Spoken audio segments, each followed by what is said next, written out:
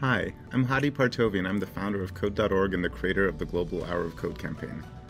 I want to congratulate the Minister of Science and ICT and KOFAC for kicking off this year's Software Education Festival.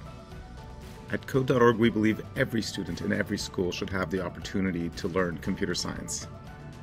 Today, we're facing an inflection point for computer science around the world. The COVID pandemic has forced teachers, school administrators, parents, students, and society to rethink the learning experience. It has accelerated the need to change not only how we teach our children, but also what they learn. Even when many schools teach digital skills, they teach only how to use technology rather than how to create and understand technology. In today's digital era, learning computer science will help students better understand how the world works.